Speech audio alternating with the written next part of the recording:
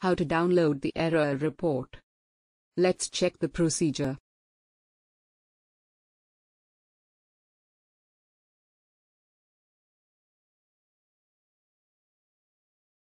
When the return is processed with error, cells in the software are non-editable.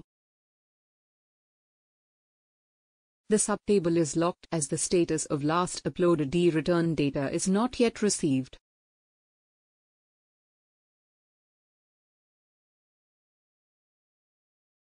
To download the error report, go to Forms menu. GSTR1. Check e-return upload status.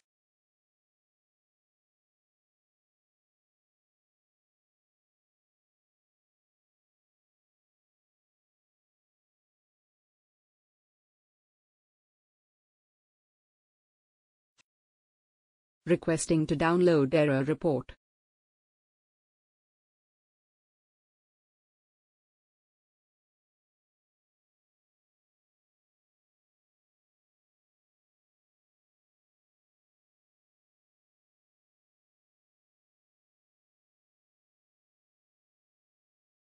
After 20 minutes from sending request to download error report a reminder message to download error report will be shown in software.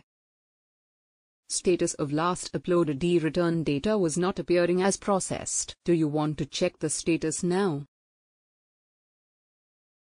To download the report later, you may use Check e-return upload status menu.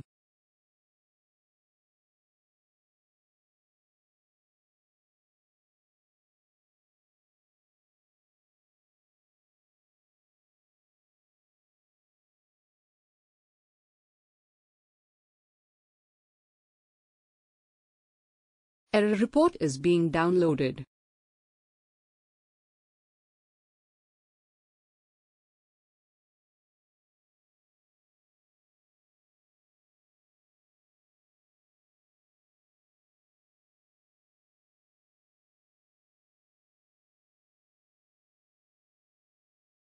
Error report is downloaded in MS Word and kept open.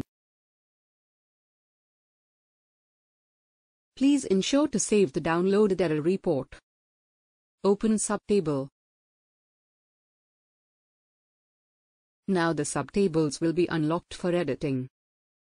Key columns that is invoice number, customer name, GSTIN, of the rows that are processed in website are changed to pale yellow color, and such cells cannot be edited. The rows or cells with white color can be edited.